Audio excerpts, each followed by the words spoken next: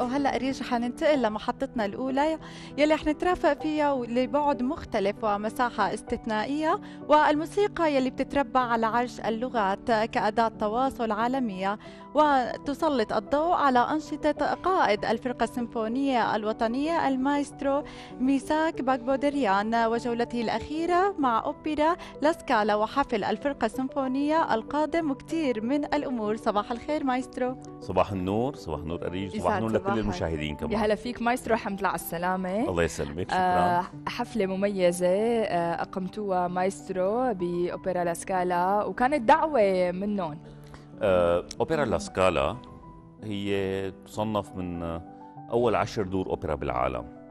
فهي كتير مهمة على الصعيد الموسيقي وعلى صعيد البرامج اللي بتقدمها. أوبرا لاسكالا آه، من قبل فترة أسست أكاديميا. للشباب المتميزين من كل العالم. هي الاكاديميا بتأهلهم ليصيروا موسيقيين محترفين وهي وسيلة يدخلوا دار الأوبرا. ف أكاديمية أوبرا لاسكالا وجهت لي الدعوة إنه اكون معهم وقود حفلة مع أوركسترا الشباب اللي هن بيعملوها بالأوبرا نفسها بأوبرا لاسكالا الأوبرا من أهم الأوبرات بالعالم. أهم الأوبرات. فهي كانت بالنسبة لي حالة يعني في محطات ونحن بنمشي بطريقنا بنحس إنه هي محطات مفصلية مم. مفصلية وكثير مهمة. فأنا بحس إنه هي وحدة من المحطات بحياتي الاحترافية كثير مهمة. أه البيئة مختلفة. مم. المستوى الاحترافي كثير عالي.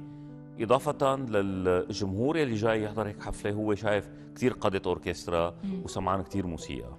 فبالتالي يعني المقارنة كثير صعبة. يعني بده يتقدم شيء بده يتقدم مميز. تمام بده يكون مميز وبده يكون على صعيد كثير عالي احترافيا.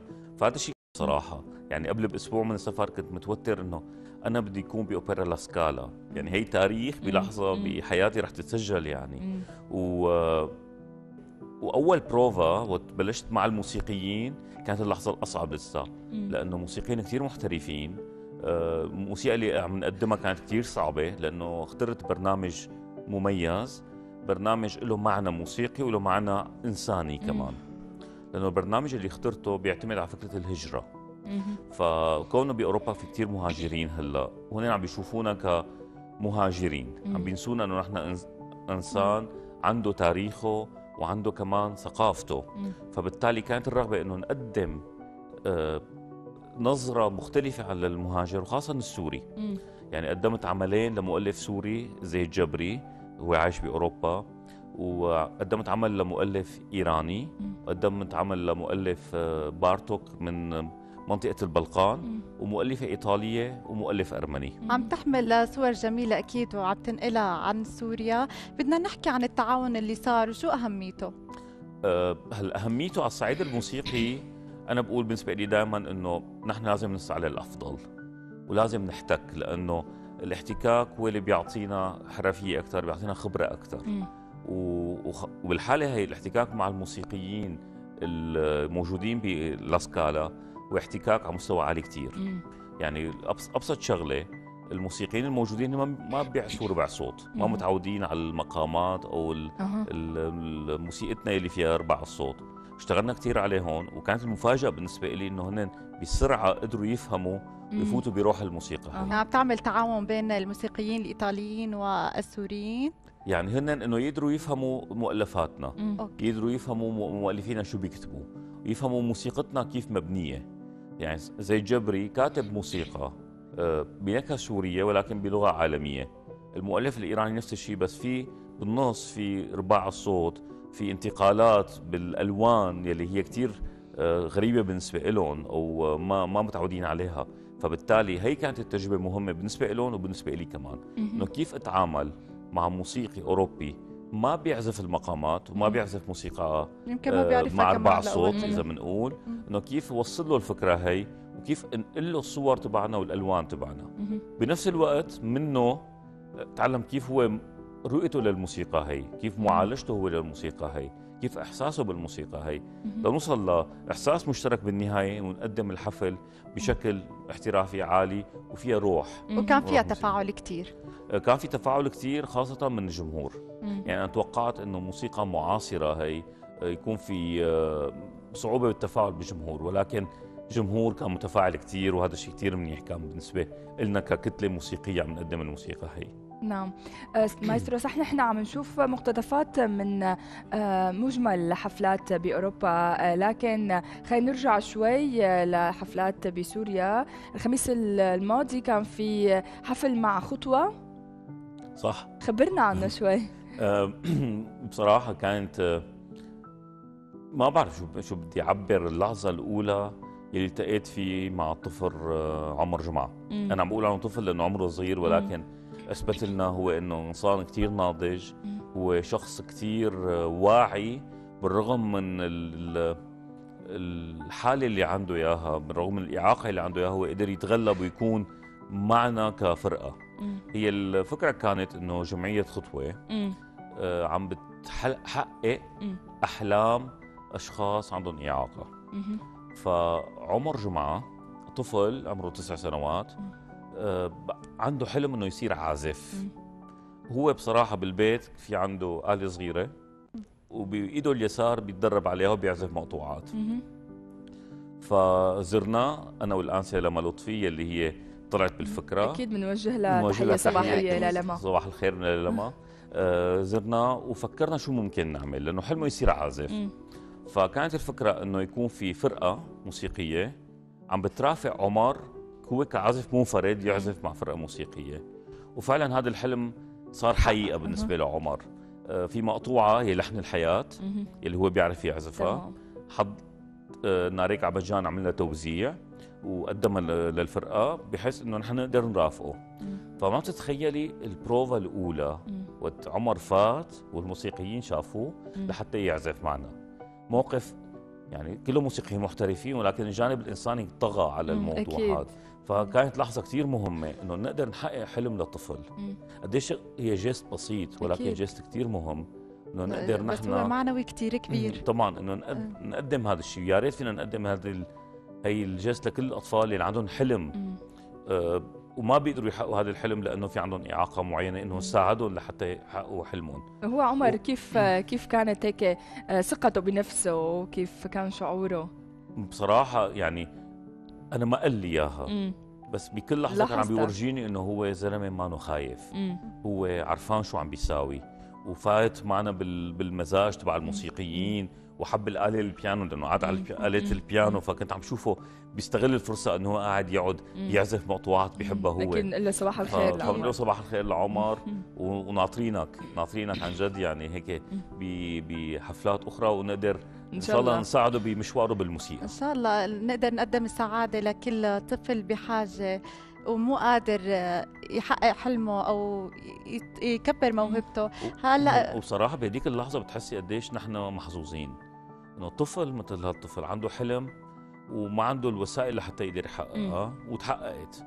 يا ترى كم طفل في نحن كثير محظوظين إنه عندنا الفرصة لنقدر نقدم هذا الشيء واحيانا بنشكي من كثير شغلات نحن كموسيقيين مثلا. بعدين بنشوف طفل عنده إعاقة بس عم بيعمل موسيقى. فبالتالي قديش في شخصيات قوية عندهم هالنفسية القوية لحتى يعملوا مشوار. فتعلمنا درس نحن. يعني كان درس لنا هذا كموسيقى وهي كمان تعتبر مايسترو رسالة إنسانية لكل مين عم يسمعنا. كل حدا بيقدر يساعد طبعا لازم نساعد هالأطفال هذا واجبنا. المحتاجين. هذا مثل ما قلت واجبنا. آه، مايسترو في عنا يوم الخميس كمان حفلة ممكن نحكي عنها؟ يوم الخميس عنا حفلة مع الفرقة السيمفونية الوطنية السورية. كان المفروض تكون مع سيدة إنجي أوزدل قائدة أوركسترا تركية. هي زارتنا ب 2016 وعبرت عن تضامنها مع الشعب السوري ولكن هالمرة ما زبطت السفرة. فرح نغير البرنامج شوي. رح نقدم السيمفونية آه، الخامسة بيتهوفن اللي كانت هي رح تقدمها كمان. ولكن وجهنا دعوة لمغني باريتون مغني أوبرا سوري نبيل سليمان. هو عايش ببروكسل ولكن هالفترة من حظنا موجود بدمشق. فحبينا نستغل وجوده ودعينا لنبيل إنه يجي يغني معنا. ورح نقدم بالقسم الأول آريات من أوبرات مشهورة. من أوبرا كارمن رح نقدم مقطع رح نقدم من أوبرا فالستاف لفيردي وفي عنا أوبرا لمؤلف إيطالي ليونكافالو مو كثير معروف ولكن يعني موسيقى جميلة جدا من أوبرا المهرجون. فنبيل رح يكون معنا مع الفرقة السيمفونية الوطنية لنقدم ثلاث آريات. وبالقسم الثاني رح نقدم السيمفونيه الخامسة لبيتهوفن اللي بتخيل كثير ناس بتعرفها لأنه هي اللي بسموها قدر يقرع الباب. هيك إجت التسمية تبعها. آه، سيمفونية فيها دراما كثير تراجيديا كثير ولكن بالنهاية دائما في الأمل وفي الانتصار وفي الشمس اللي رح تشرق. فبالتالي هي رح تعطينا طاقة جديدة كمان للسنة الجديدة بالنسبة للفرق السيمفونية أكيد الوطنية. أكيد بنتمنى لكم توفيق مايسترو يوم الخميس القادم بهالحفل. أيضا في مشاريع عديدة على صعيد الفرقة. خبرنا عنها مايسترو. عندنا مشاريع كثير هالسنة. مم. 2013 آه، بلشت ب آه، بدنا نقول بنشاط كثير كبير. هلأ عندنا على الأغلب بنكون باللاذقية الشهر الجاي الفرقه السيمفونيه الوطنية لحتى نشارك بالاحتفالات باللاذقية بمرور 300 سنة لوجود الرهبان الفرانشيسكان يلي اللاتين فرانسيسكان يلي قدموا كثير للمجتمع باللاذقية. وفي عندهم نشاط ثقافي فوجودنا رح يكون دعم لهم آه رح نكون بحلب بشهر نيسان لنقدم مع كورال ناريغاتسي بحلب. كورال كمان أثناء الحرب كان مستمر بنشاطه وعم بيشتغل بشكل جدي وقدم حفلة بدمشق مع المؤسس آه، مع القائد تبعهم الله يرحمه أبونا آه، جانجي. فهلأ بذكرى أبونا جانجي رح نقدم حفل بنيسان نعم. بحلب. إضافة لحفلاتنا بدمشق. وبشهر ستة عندنا استضافة لقائد أوركسترا برازيلي. رح يجي هو وعازف بيانو. هي رح تكون يعني أول قائد أوركسترا بنستضيفه من محل بعيد كثير بعد الحرب من البرازيل رح يجي رح يقدم مقطوعات برازيلية ومقطوعات عالمية بنهاية شهر ستة. ففي عنا نشاطات ضمن دمشق ونشاطات بالمحافظات. وإن شاء الله يكون عندنا نشاطات دولية يعني. نحن بانتظار إنه نقدر نكسر الحصار ونقدر نكون موجودين برا. هذا مو شيء جديد آه، عليك مايسترو ابدا. دائما بيكون في صوت آه، وصدى صوت الموسيقى آه، السورية بالخارج أكيد. بس هذا يعني واجبنا نحن كموسيقيين. أحيانا بنقول نحن سفراء بيقولوا نحن سفراء. فسفير بيكون بالسفر كمان يعني وقت بيروح وبيقدم الوجه الثقافي لسوريا بيورجي قديش في عنا موسيقيين أكاديميين احترافيين عم يشتغلوا لأنه الأوروبيين دائما عندهم فكرة حتى وقت كنت بميلانو هلأ إنه معقول أنتم عم تعملوا موسيقى؟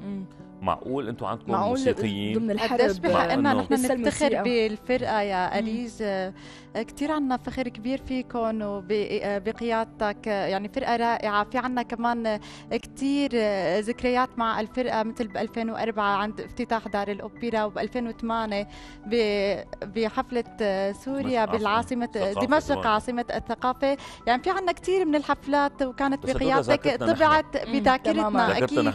بس نحن المشكلة الأساسية عم بتكون وقت بنكون برا وقت بيشوفونا بي... هن بيقولوا معقول عندكم موسيقى لأنه الشيء اللي بنعمله لنا نحن بنعرفه. ولكن هن ما بيعرفوا شو عنا نحن. وهن الصورة اللي بتوصلهم مختلفة تماما عن الواقع اللي عنا إياه. طيب هلأ هون بيجي عندنا موسيقى بسوريا وعندنا فرقة مستمرة رغم الحرب. وفي عندنا مؤلفين وفي عندنا موسيقيين. هي الفكرة اللي هن عم يتفاجئوا فيها. عم بيقولوا معقول هذا الشيء؟ طيب هون بيجي مايسترو شو دور الفرقة السيمفونية بإبراز صورة الحياة الموسيقية بسوريا؟ برأيك؟ هلأ نحن مهمتنا نعزف مهمتنا نستمر مهمتنا إنه نواصل شغلنا. ولكن بده يكون في تعاون كمان من جهات أخرى لنقدر نوصل هذا الصوت. يعني قد ما عزفنا بدمشق نحن. إذا هالصورة الصورة ما انتقلت لبرا صعب كثير هن يشوفوا هي الصورة هي. فبالتالي نحن في عندنا فريق عمل. نحن مشان هيك أنا بحب دائما الإعلام وأقول أنتم شركائنا لأنه أنتم بتوصلوا لنا صورتنا بتوصلوا لنا صوتنا مو بس لسوريا لبرا كمان. ف وأثناء السفر وقت عم نورجيهم حفلاتنا دائما عم بيكون هالمفاجأة. يعني وقت كنت بإسبانيا بالصيف وحكيت عن الفرقة السيمفونية عن نشاطاتنا شو عم نعمل نحن أثناء الحرب كلهم تفاجئوا إنه معقول أنتم تحت التهديد يعني خطر الموت عندكم وعم عم تنزلوا وعم عم تتدربوا مثلا. خلوكم بالبيت. أو ليش عم تعملوا هذا الشيء؟ فوقت شرحنا لهم ليش عم بتخاطروا ليش عم بتخاطروا فوقت شرحنا لهم إنه هي رسالتنا. مم. وبعدين يعني مو معقول أنا دائما بقول لهم إنه الأطباء عم بيروحوا على المشفى. اساتذه المدارس عم بيروحوا على المدارس عم يدرسوا. حتى الطلاب الصغار ونحن الموسيقيين قاعدين بالبيت معقول؟ ما بيصير في عندنا نحن واجب إنساني اجتماعي اضافه للواجب الثقافي.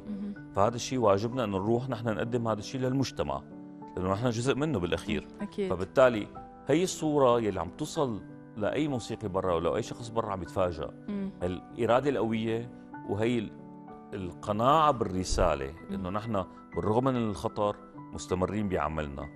يعني أنتم كمان أثناء الحرب كنتوا موجودين دائما على التلفزيون فبالتالي هذا نعم. الشيء واجبنا.